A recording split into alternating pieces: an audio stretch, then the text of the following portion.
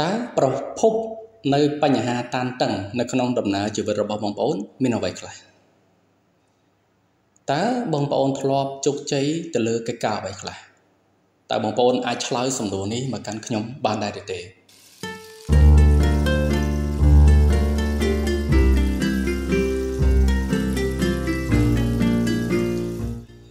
ជម្រាបសួរបងប្អូនទាំងគ្នាការចូលរួមរបស់ខ្ញុំនៅថ្ងៃនេះខ្ញុំនឹងចែករំលែកជាមួយនឹងសំណួរពីរខាងលើទៅកាន់បងប្អូនទាំងគ្នា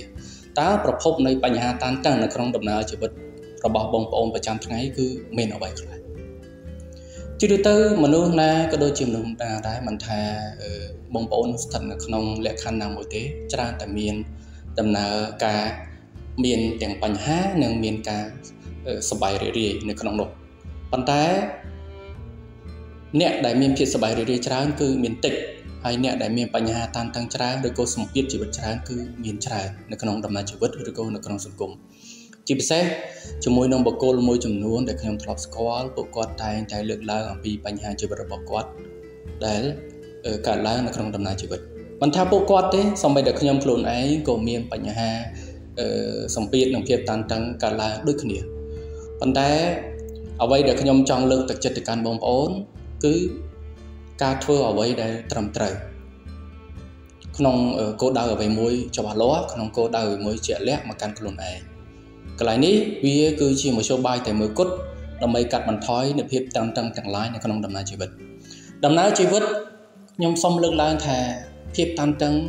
ភាគរយខ្ពស់ដែលកើតឡើងនៅក្នុងដំណើរជីវិតគឺពាក់ព័ន្ធទៅនឹងបញ្ហាលុយលុយគឺជារបស់មួយដែលអាចជួយឲ្យយើង មានអារម្មណ៍ល្អយើងអាចមានដំណើរកំសាន្តទៅកន្លែងចិត្តកន្លែងឆ្ងាយយើងអាចប្រើប្រាស់នៅសម្ភារៈល្អល្អយើងអាចមានទ្រព្យសម្បត្តិដូចជាផ្ទះដូចជាឡានដូចជាអ្វីផ្សេងផ្សេងដែលយើងចង់បានគឺលុយអាចជួយទិញបាន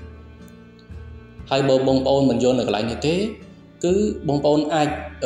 មើលត្រឡប់មកក្រៅវិញថាតើប្រភពនៃបញ្ហានិងភាពតានតឹងរបស់បងប្អូនក្នុងដំណើរក្នុងដំណើរជីវិត មិនថាបងប្អូនមានគ្រួសារមិនថាបងប្អូនមិនតាន់មានគ្រួសារឬក៏បងប្អូនសិតនៅក្នុងគ្រួសារដែលមានការលំបាកទាំងអស់ហ្នឹងគឺមកពីអីជាទូទៅគឺប្រភពចេញមកពីការដែលយើងមិនសូវមានទុនធានយើងមិនសូវមានលុយកាក់នឹងតែម្ដងព្រោះថាពេលដែលយើងហូបខ្វះមុខខ្វះក្រោយពេលដែលយើងជួបបញ្ហារាំងស្ទះនៅក្នុងដំណើរជីវិតពេលដែលយើងចង់បានអ្វីមួយវាមិនបានដូចចិត្តភាពតានតឹងនឹងកើតមានឡើងតែម្ដងហើយទៅនេះ អ្វីដែលដោះស្រាយក្នុងភាពតានតឹងមិនមែនថាយើងត្រូវតែមានលុយគ្រប់ពេលទេប៉ុន្តែក៏យើងត្រូវតែមានលុយឲ្យបានច្រើនដែរចំណុចដែលខ្ញុំចង់លើកឡើងខ្លះគឺបងប្អូនអាចពិចារណាជាមួយខ្ញុំបានគឺសម្ពាធជីវិតជាទូទៅកើតមានតាំងពីដែលយើងចាប់ផ្ដើមចេះគិតកាលពីយើងនៅតូចកុមារភាពគឺយើងមិនសូវមានសម្ពាធជីវិតច្រើនប្រហែលទេគឺយើងដឹងតែសប្បាយយើងដឹងតែរត់លេងដល់ម៉ោងញ៉ាំញ៉ាំដល់ម៉ោងគេងគេងហើយអាសម្ពាធទាំងអស់ហ្នឹងគឺស្ថិតនៅលើ គ្រួសាររបស់យើងដែលជាឪពុកម្ដាយដែលយើងស្ថិតនៅក្រោមបន្ទុករបស់គាត់ប៉ុន្តែដល់ពេលដែលយើងធំហើយដល់វ័យមួយដែលយើងចេះគិតហេតុអីបានយើងមានអារម្មណ៍ថាអារម្មណ៍នោះវាមិនដូចកាលយើងនៅកម្មារភាពគឺសម្ពាធជីវិតរបស់យើងបានធ្លាក់មកកាន់មកយើងម្ដងមួយម្ដងមួយរហូតដល់យើងអឺចាប់ពីយើងរៀនចាស់ចាប់ជំនាញនៅសាកលវិទ្យាល័យយើងត្រូវមានគ្រួសារហើយយើងត្រូវទៅដោះស្រាយបញ្ហាខ្លះជាមួយនឹងគ្រួសារឪពុកម្ដាយរបស់យើងនៅក្នុងជីវភាពរស់នៅប្រចាំថ្ងៃ ឬក៏ដែលយើងមានមានមានប្តីមានប្រពន្ធក៏ដោយទាំងអង្គនោះគឺវាផ្ដើមចេញពីបញ្ហាដែលយើងមិនសូវមានចំណូលខ្ពស់អញ្ចឹងដោះស្រាយបញ្ហាឬក៏ភាពតានតឹងមួយចំនួននៅក្នុងដំណើរជីវិតរបស់យើងឧទាហរណ៍ថាពេលដែលយើងឈឺយើងអាចចូលទៅកាន់កន្លែងការទទួលសេវាកម្មព្យាបាលល្អល្អយើងចង់បាននៅមហូបអាហារឆ្ងាញ់ឆ្ងាញ់ក៏វាផ្ដើមចេញពីលុយឬក៏ចំណូលដែលយើងរោលនោះដែរអញ្ចឹង បញ្ហាទាំងឡាយក្នុងដំណើរជីវិតគឺតកតងទៅនឹងតម្រូវការជីវិតនេះឯងអញ្ចឹងតម្រូវការជីវិតគឺវាពាក់ព័ន្ធទៅនឹងគឺការរកទ្រព្យសម្បត្តិការរកលុយកាក់ឯងហើយនេះចំណុចខ្លះដែលខ្ញុំចង់លើកទឹកចិត្តឬក៏ចែករំលែកទៅកាន់បងប្អូន គឺចូលបងប្អូនចាប់ផ្ដើម មានគោលដៅចាប់ពីពេលនេះចូលមានគោលដៅមួយសម្រាប់ខ្លួនឯង មិនថាការពង្រីកជំនាញដើម្បីរកចំណូលទេមិនថាដែលយើងចង់មានគោលដៅវែងឆ្ងាយទៅលើការវិនិយោគអ្វីមួយទេបងប្អូនចាប់ផ្ដើមមានគោលដៅមួយច្បាស់លាស់មានតនន័យមានការសំយោគឬក៏មានតំណែងតំណងមួយដែលត្រឹមត្រូវហើយបញ្ហាជីវិតមួយទៀតដែលកើតចេញដែលមានចំពោះបងប្អូនសពថ្ងៃគឺជាទូទៅបងប្អូនចំណាយពេលខុសឧទាហរណ៍ បងប្អូនចង់បានចំណូលច្រើនបើសិនជាបងប្អូនជាអ្នកធ្វើការងារឯគេខ្ញុំខ្ញុំជឿថាបងប្អូនប្រកាសជាធ្វើការឲ្យបានច្រើនម៉ោងបងប្អូនព្យាយាមធ្វើការពីកន្លែងមួយទៅកន្លែងមួយដើម្បីរកចំណូលឲ្យបានច្រើនម៉ោងសំទោសដើម្បីរកចំណូលឲ្យបានច្រើនដើម្បីហើយយកចំណូលទាំងអស់នោះទៅឆ្លើយតបជាមួយនឹងការលំបាកឬក៏ support ជំនួយទៅលើការរស់នៅប្រចាំថ្ងៃរបស់បងប្អូនជំនួសមកវិញខ្ញុំចង់ប្រាប់ទៅកាន់បងប្អូនថា ជំនួសឲ្យជំរឿសនៃការដែលយើងធ្វើការបន្ថែមឲ្យកាន់តែធ្ងន់បងប្អូនអាចបន្ថែមគុណតម្លៃទៅលើជំនាញដែលបងប្អូនកំពុងមានបងប្អូនសាកពិចារណាមើលតើយើងគួរតែបន្ថែមម៉ោងធ្វើការឲ្យច្រើនឬក៏យើងគួរតែបន្ថែមគុណតម្លៃទៅលើជំនាញដែលយើងកំពុងធ្វើឧទាហរណ៍ជំនាញបងប្អូនសប្តាហ៍ថ្ងៃទទួលបាន300ដុល្លារចុះបើសិនជាបងប្អូនបង្កើនគុណតម្លៃឲ្យលើសទាំងនេះលើសពីនេះទៅទៀតតើវាបាន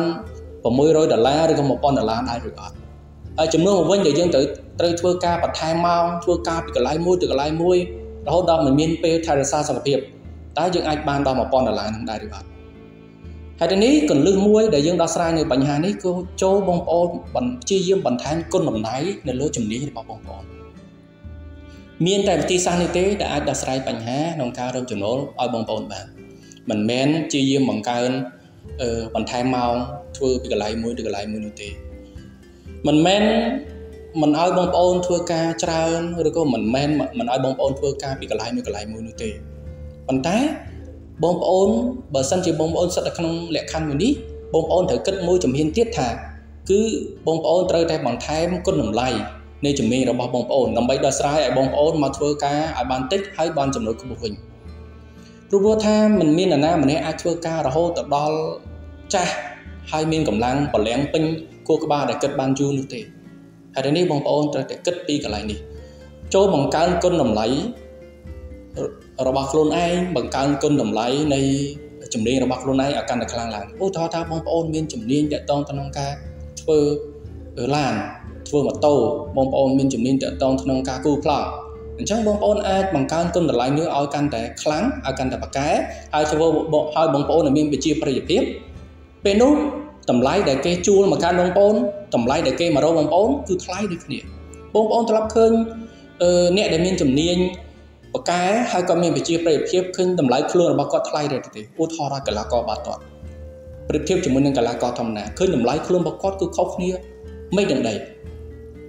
មិនមែនឲ្យតែឈ្មោះថាកីឡាដូចគ្នាមានតម្លៃដូចគ្នានេះទេគឺអាស្រ័យទៅលើជំនាញដែលគាត់ប្រឹងបង្កើន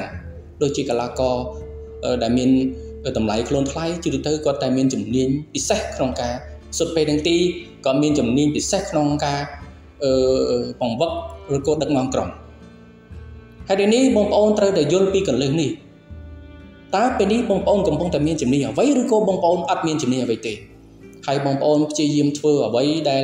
ចេះតែធ្វើទៅដោយមិនមានគោលដៅដែលខ្ញុំលើកឡើងភ្ជាប់ជាមួយនឹងពាក្យខាងលើចូលមានគោលដៅនៅលើជំនាញអ្វីមួយចូលកុំធ្វើជាមនុស្សដែលគោះដៃគោះជើងនៅក្នុងទឹកហើយឲ្យគេមើលមកថាយើងជាអ្នកហែទឹកចូលបងប្អូនកុំធ្វើដូចឆ្នោះ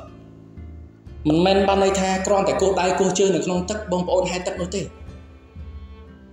ពេលខ្លះបងប្អូនកំពុងតែលងទឹកដោយមិនដឹងខ្លួនគ្រាន់តែគេមិនដឹងថាបងប្អូនកំពុងលងព្រោះគេឃើញបងប្អូនកំពុងតែគោះដៃគោះជើងប្រៀបប្រៀបធៀបដោយបងប្អូនអ្នកខ្លះមកបងធ្លាប់ឃើញហ៎រវល់នោះរវល់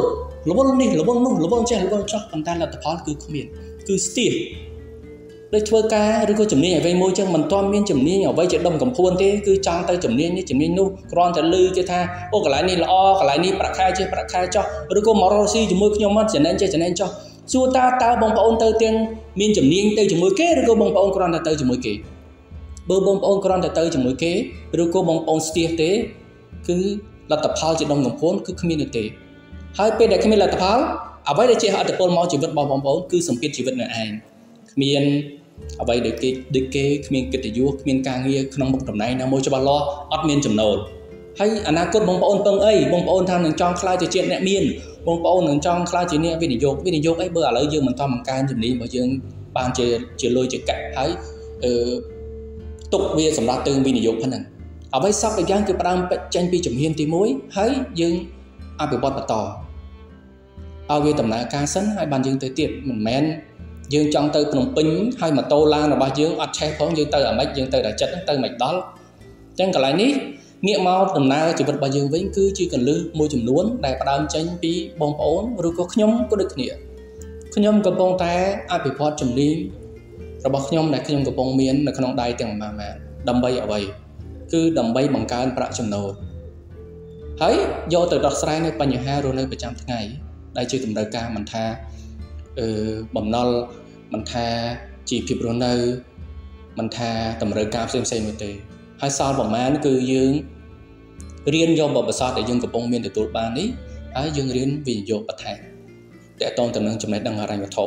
តើយើងយកលុយទៅបង្កើតលុយនេះក្នុងរូបភាពអ្វី ក្នុងគោលដៅអ្វីក្នុងទិសដៅអ្វីប៉ុន្តែមុនដល់ជំហាននោះតើយើងរកលុយដោយវិធីសាស្ត្រណាយើងសួរខ្លួនឯងនៅកន្លែងនេះសិនដើម្បីមកទទួលបានលទ្ធផលឬក៏ទទួលបានជាលុយកាក់ជាផ្លែជាផ្កានោះមកដោះស្រាយសម្ពាធជីវិតរបស់យើងសម្ពាធជីវិតរបស់យើងគឺជាទៅកើតចេញពីបញ្ហាអត់លុយនេះបងប្អូនកន្លែងនេះបងប្អូនអាចពិចារណាជាមួយខ្ញុំទាំងអស់គ្នាបានថាសម្ពាធជីវិតរបស់បងប្អូនបងប្អូនទោះតែងជាមួយនឹងក្រុមគ្រួសារបងប្អូនមិនអាចជួយ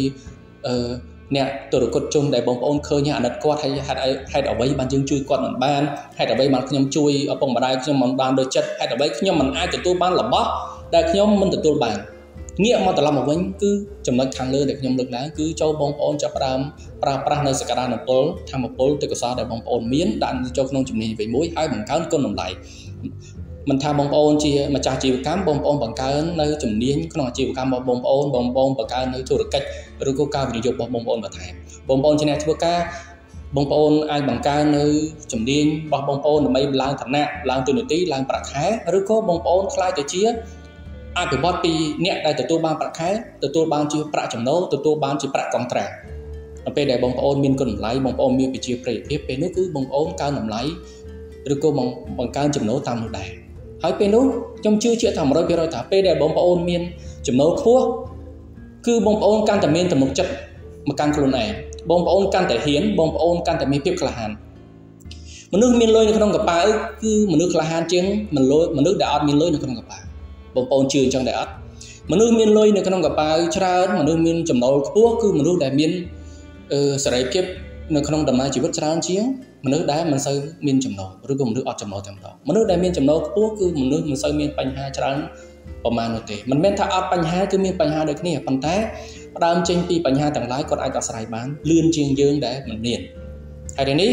ការចូលរួមរបស់ខ្ញុំនៅថ្ងៃនេះគឺមានតែប៉ុណ្ណេះបងប្អូនអាចចែករំលែកនៅក្នុងវីដេអូនេះបានជាមួយនឹងចំណុចដែលខ្ញុំលើកឡើងខាងលើពីព្រោះថាអ្វីដែលខ្ញុំលើកឡើងខាងលើគឺវាគ្រាន់តែមួយជ្រុងមួយនៅក្នុងដំណើរជីវិតរបស់បងប្អូនឬក៏រូបខ្ញុំផ្ទាល់នោះទេជាជាចុងក្រោយសូមជូនពរបងប្អូនមានភាពជោគជ័យនៅក្នុងដំណើរជីវិតហើយបងប្អូនមានសុខភាពល្អសូមអរគុណ